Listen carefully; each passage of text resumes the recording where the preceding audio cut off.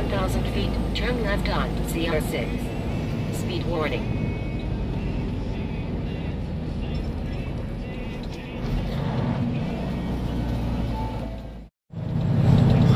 Good Wednesday morning, guys. Today is the 28th January. Um, yeah, extended long weekend that I didn't want. Excuse me. Man, the uh, loads just weren't popping up. Uh, and the loads that were available, like down in Tunkhannock, they were, you know, picking up Tuesday and uh, a lot of them were delivering, you know, three o'clock in the morning, four o'clock in the morning, twelve thirty in the morning. Um, twelve thirty, I didn't mind so much because I don't mind going. I'd rather go to bed late than up early. Uh, but it is what it is. Uh, I, didn't, I didn't end up getting. I didn't get that load. Um, and I didn't, I tried booking the load for four o'clock in the morning, which wasn't a big fan of. But if I got it for the rate I was booking, trying to get it for, I would have been okay with it. so, um, I ended up sitting home Monday. Uh, pretty much did the same exact thing yesterday on Tuesday. 0.2 miles, turn right on Gillespie Road. This thing's just gonna be stupid. Um, here we are. Today's Wednesday. So nine o'clock this morning, I I set up this load here, which is uh, right now it's 10:45. Um, we're on our way. It says 135 miles, but we're a lot closer than that. I'm doing a little back road, so I don't have to hit tolls just right now. Um, just to get over towards Rochester. We're picking up in. Oh, that's right, that's that 1211 bridge. That's why I can't avoid that spot. Um, anyhow, uh,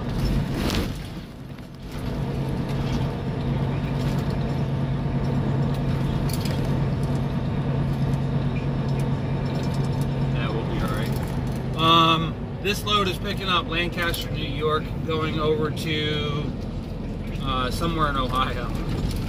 Um, where the heck is it going? It's going to Mic Micadon Micadonia, Micadonia, Ohio. Uh, it's picking up from Great Dane. It's a brand new Great Dane trailer, I'm assuming, and uh, it's going over there to uh, XTRA Lease XTRA Lease trailers. So get over there, we'll get it picked up and get rolling with it. See how we make out. Um, for the next three days, I'm running without without a uh, air filter. Biggest reason is because my air filter gauge is broken, and I'm kind of worried about it being overly clogged, it's just making a, a, funny noise like it's it's pretty clogged. So I don't want to take a chance on it doing what it did the last time that it was clogged and I didn't realize it. Not just that I didn't realize it, I didn't understand it. Um, I was I was very ignorant on the subject and uh, I didn't know exactly how the gauge worked. And I thought I had plenty of time on it, but apparently it was actually full. So it is what it is. But that gauge isn't working anymore. It had cracked and I haven't replaced it yet. And uh, but when it was clogged, it ended up causing my DPF and my one box to to blow out. And I guess it has something to do with the back pressure um, that it ends up basically collapsing itself and breaking the weld on the inside, uh, which is what happened to me back when I was with Schneider and I don't have a warranty to cover it this time. So uh, to save myself eight thousand dollars and having to replace the one box again, I just pulled the air filter out uh, just until Friday so that I know that I can get the uh, get a new air filter. I technically have the money to get it right now, um, but after after Christmas and everything, and just trying to get back on my feet here, uh, getting the new year rolling. Uh, if it was if it was in the middle of the summertime where it's all dusty and you got everything floating around and shit, I'd get it on immediately. But being that we're in the middle of the winter, I'm, I'm really not worried about it. So we'll get it on there soon enough, and uh, we'll go from there.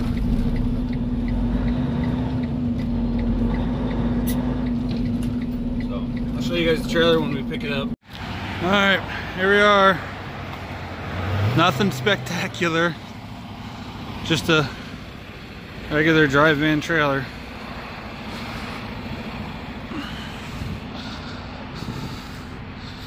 Good looking tires. Air slide.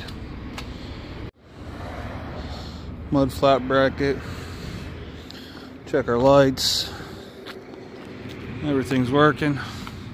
I love these handles especially when you're ooh, I'm stuck a little bit. There we go. Just a seal sticking a little. That's something up there. I don't know I'm worried about. There ain't no damage to the trailer.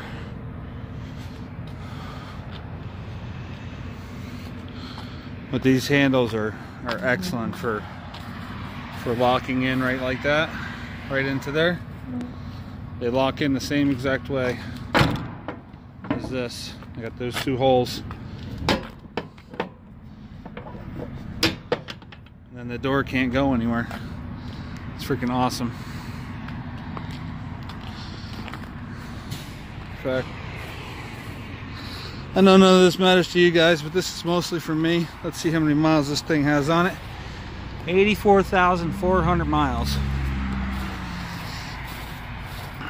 Oh, everything looks in good shape. What's up guys? Uh, today is Thursday. Made our delivery, ended up being first thing this morning, so I'm just going to tie this video in with yesterday's video. Um, right now we're picking up another power only Not exactly sure where I need to be. But I'm gonna go check in real quick. I just got here. And uh, I'll show you guys what I'm getting in a second. Alright, here it is.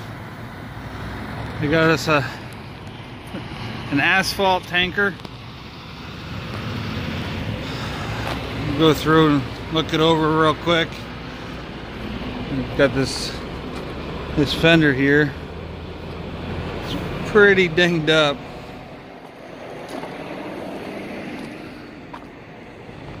Got some rust here on the ladder that they sprayed over or welded on. Stuff like that's not to matter to me. A little dinged up on the ladder.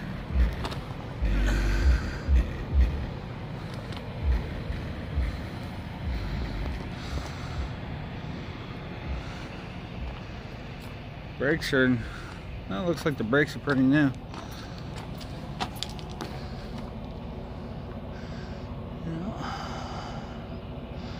Tires are in good shape.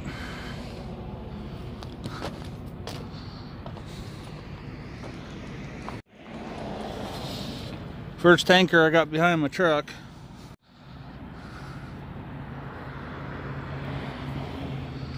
All the lights are working mud flaps, temporary plate.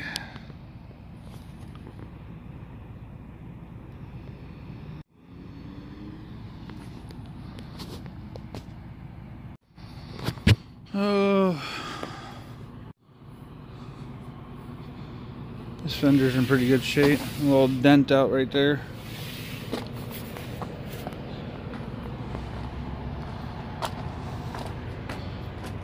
Pan's in good shape. Lots and wel lots of welds on this thing.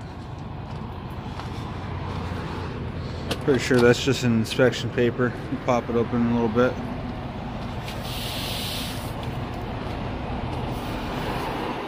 And we got the front. I think I'm gonna slide the fifth wheel. Nah, I'll just leave it where it's at.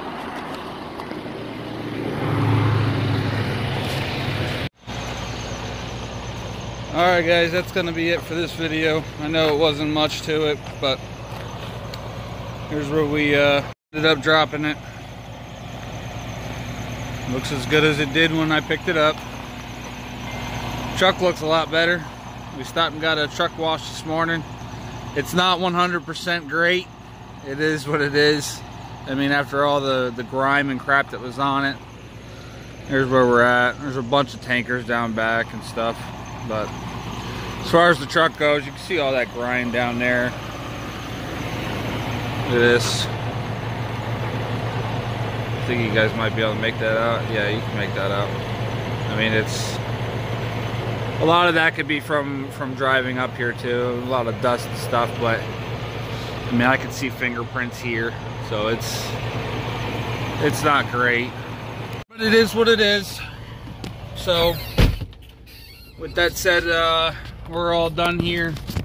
Um, there ain't nothing in the area for me to take.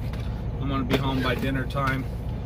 Uh, we got 267 miles, about four hours. It's giving us an ETA of 620 right now, which will probably beat that by about 20 to 25 minutes. Um, yeah, that's it. Thanks for watching, guys. Stay safe. We'll catch you next week I don't know what we're doing next week. We'll see you then.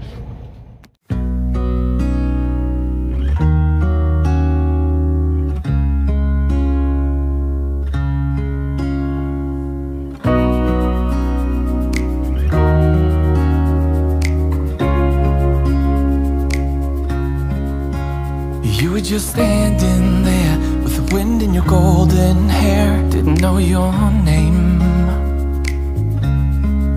But I could feel it with every heartbeat Every time that our eyes would meet Didn't know back then And even in my wildest dreams I didn't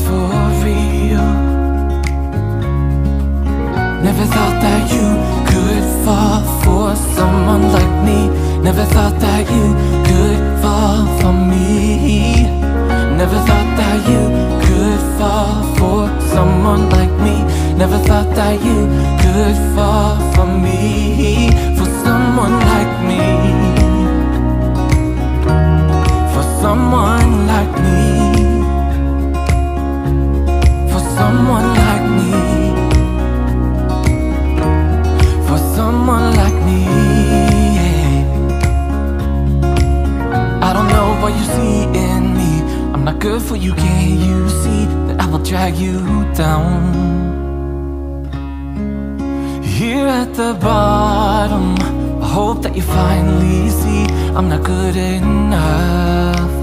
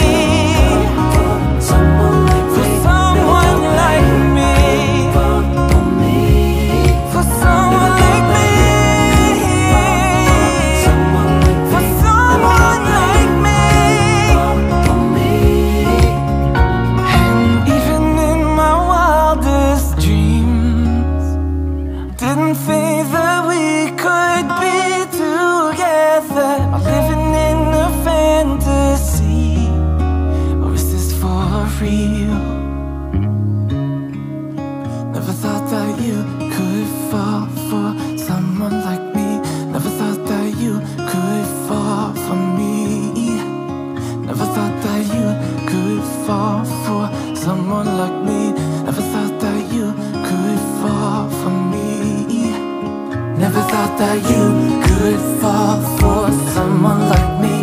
Never thought that you could fall for me.